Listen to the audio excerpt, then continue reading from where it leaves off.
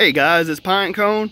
Um, nobody's only like one or two views on my other video. I don't know what the deal is, but nobody gave me any suggestions whether I should keep or sell the Porsche 911. Well, I do have good news. I decided to keep my 2002 996 Porsche 911. Uh, I'm gonna go ahead and replace the flywheel, which just came in today.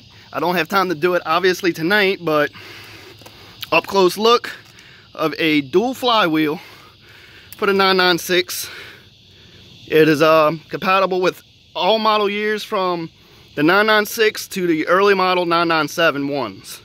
So, in case y'all y'all wondering, this is the uh, this is the uh, OE part that uh, Porsche uses. Um, I got it for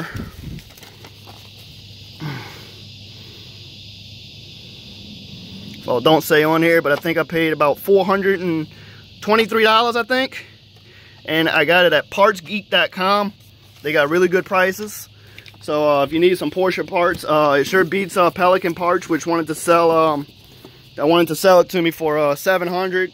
eBay could only come down to about 480, and I think uh, Amazon after tax and shipping was uh, about 450. So um, by far, partsgeeks.com or Geek Parts, whatever it was, you'll, you'll see it in the video.